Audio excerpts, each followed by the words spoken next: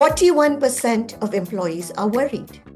61% of white collar workers are in fear. AI is coming. coming. AI is coming. Am I going to lose my job? What was once just anxiety is now backed by hard research. Just let that sink in. Microsoft has just released a massive report analyzing over 200,000 real world conversations with its AI copilot. And what you feared? The data now confirms it. But there is no twist. You already saw this coming. It's not the truck drivers or the dishwashers. It's the desk jobs that are under fire. AI is not coming for your mop, it's coming for your mouse. Which jobs are the most vulnerable? It's where AI shines. Microsoft's analysis reveals this truth. AI isn't replacing jobs, it's replacing the most repeatable, predictable, and pattern based jobs. We see six zones where AI is hitting the hardest. Let's go through them one by one. The first one is writing, summarizing, and explaining. The jobs affected are journalists, PR professional, researchers, B school faculty because clean, structured communication, guess what? AI nails it. At number two is repetitive queries and structured responses. Jobs affected are customer service, call center staff, executive assistant. These are all pattern based work. And guess what? AI works 7 by 24, doesn't get tired, and always has a friendly voice. Number three, tech and coding roles.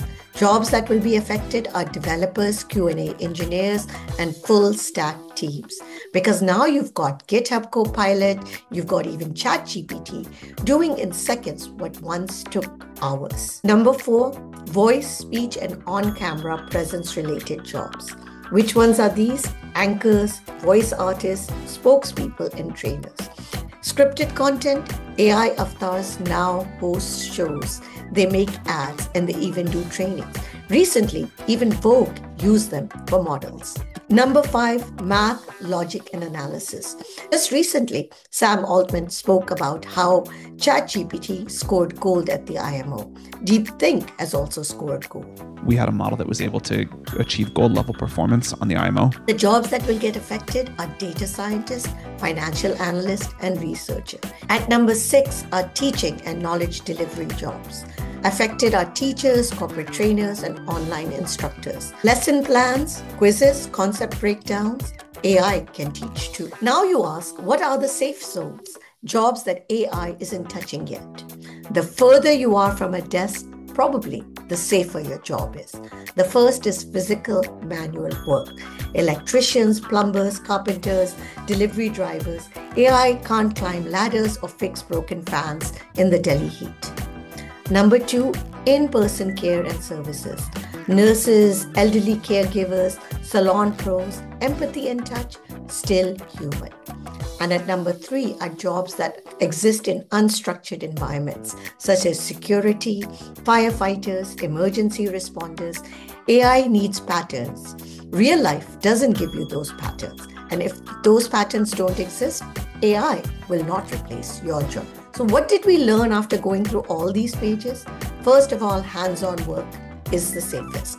AI still struggles with the real world. The robotic world is just not there yet. Number two, desk jobs are under serious pressure. AI excels at screen based tasks.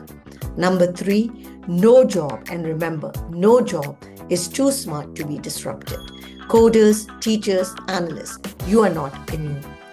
Number four, AI may not be your intern anymore. It's your teammate or maybe even your competition. So what So what do you do now? We've heard it all. AI is coming for your job. Nothing is safe. Humans are obsolete. But here's the truth. This isn't the end of jobs. It's the end of jobs that can be easily copied. It's your move. Don't fear AI. Figure out what makes you irreplaceable.